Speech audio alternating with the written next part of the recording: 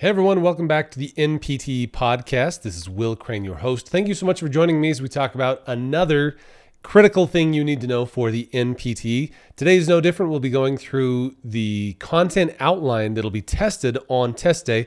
So, as you know, the FSBPT, the Federation of State Boards of Physical Therapy, they publish the questions, the number and quantity of questions in each of the sections that you'll be tested on on test day. And so today, as we do in most of our episodes, we talk about practice questions and ways to dominate on test day. So the lymphatic system, it contains somewhere between three and eight questions. Certainly not one of the biggest sections on the exam, but definitely one worth knowing. Uh, one of the big changes they made a few years ago was that they pulled lymphatic system away from cardiovascular and pulmonary to give it its own dedicated system. So therefore, Again, you can plan on somewhere between three and eight questions related to the lymphatic system. Today, we'll be talking about lymphatic interventions, but before we get to that, just wanted to point out that each quarter we're running our fresh VIP and crash courses. So we're just getting geared up for our VIP class for the April 2023 cycle. Uh, be sure to join that if you're looking for a systematic and organized way to go through your studies to make sure that you are not only using your time efficiently, but going through the content that is most likely to show up on test day in a way that is easily applicable and actually sticks so that you can dominate on test day.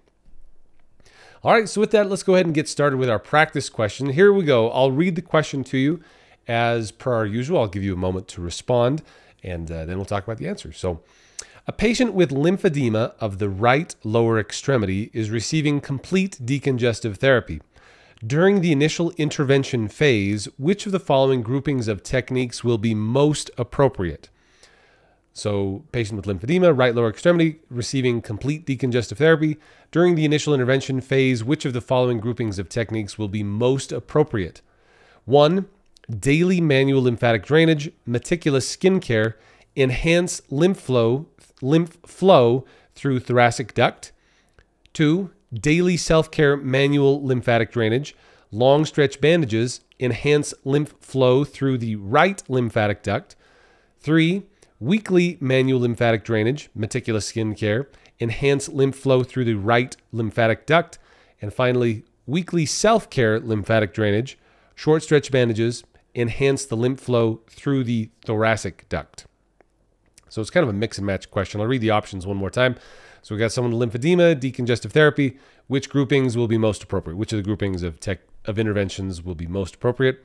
So we've got daily manual lymphatic drainage, meticulous skin care, enhanced lymph flow through the thoracic duct, daily self-care, manual lymphatic drainage, long stretch bandages, enhanced lymph flow through the right lymphatic duct, weekly manual lymphatic drainage, meticulous skin care, enhanced lymph flow through the right lymphatic duct, and finally, weekly self care manual lymphatic drainage, short stretch bandages, and enhanced lymph flow through the right, or sorry, enhanced lymph flow through the thoracic duct.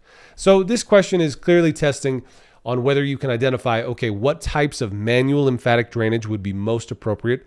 So it's really a mix and match between daily lymphatic drainage or daily or weekly lymphatic drainage or daily or weekly self care or home exercise manual lymphatic drainage. Question is between long stretch and short stretch bandages. And then finally, which thoracic or which lymphatic duct is the target? Is it the right lymphatic duct or the thoracic duct? So the correct answer to this question is number one, the daily manual lymphatic drainage, meticulous skin care, and enhanced lymph flow through the thoracic duct. So as you recall, the watershed areas for the lymphatic system the right and left lower extremities and left upper extremity, they're all combined into the thoracic duct. It's only the right upper extremity that goes into the right lymphatic duct. So think of it this way three quarters of everything passes through the thoracic duct, with the exception of the right arm. The right arm has its own watershed system. So therefore, you know that it has to be the thoracic duct and not the right lymphatic duct for the right lower extremity. And then as far as just the mix and match here, certainly you would not use long stretch bandages. You would absolutely want to use meticulous skin care.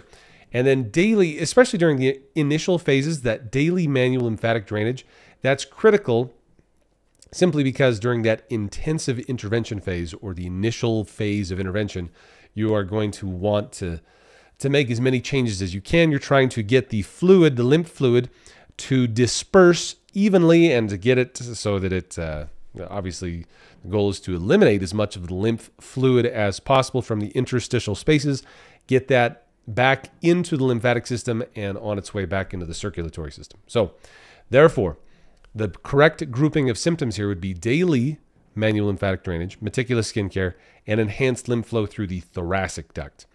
So, as we mentioned, the right arm is the only odd man out where everything from the right arm drains into the right lymphatic duct and everything else is to the to the thoracic duct. And then uh, we've talked about this in previous episodes, but you have to lock into your mind that short stretch bandages, meaning they're not very stretchy. So a short stretch bandage will feel very firm to the touch. If you were to try to stretch it, it would not be very stretchy. So a short stretch bandage gives you what's called low resting pressure and high working pressure.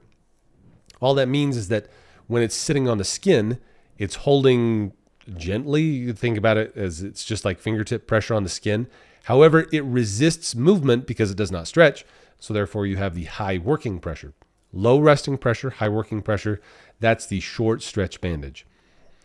So there you go. You do want to certainly incorporate a self care or a home exercise program into in with these patients and then eventually down the road into like the optimization phase or the secondary phase of intervention, you'll be transitioning from intensive care into a more home-based manual home-based home exercise program which would include home-based self-care lymphatic drainage and it would also include custom or even semi-custom compression garments that they would place on themselves rather than the full uh, the full compression bandaging system, which obviously is very difficult for patients to place on themselves.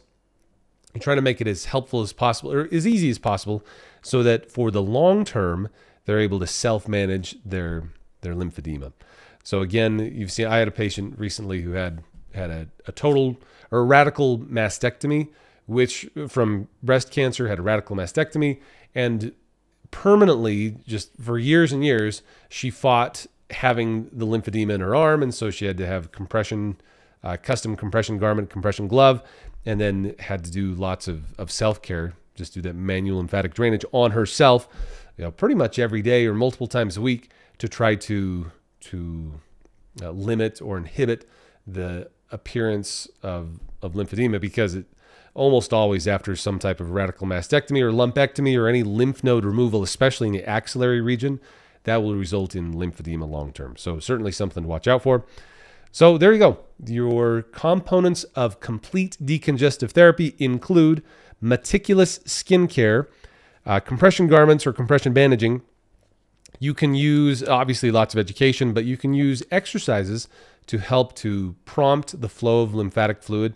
We talked about this before as well. You want to clear the proximal segments first so that's why almost always your interventions start like this. You do deep abdominal breathing, followed by hip exercise and the knee exercise and ankle exercise. You're trying to move the fluid. Always, the fluid is always flowing from distal to proximal, but you have to clear out the proximal segments first.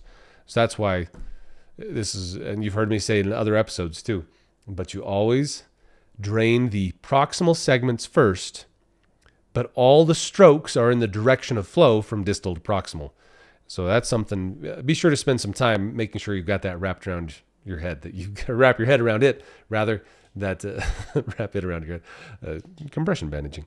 But uh, you'll, you want to make sure to clear out the proximal segments first before moving on to the distal segments. But every stroke is in the direction of flow, trying to get everything back to the more central region. So there you go. Be sure to check out ptfinalexam.com for more information about any of our courses. You can also check us out over on YouTube. Uh, we've got a lot going on over there, as well as Facebook, Instagram. Uh, you can find us all over the place. So give us a like. If you haven't already, be sure to leave us a five star review on this podcast. Appreciate you taking the time to do that. In the meantime, stay safe out there. Happy studying. Catch you in the next episode. Will Crane fist bumps all around.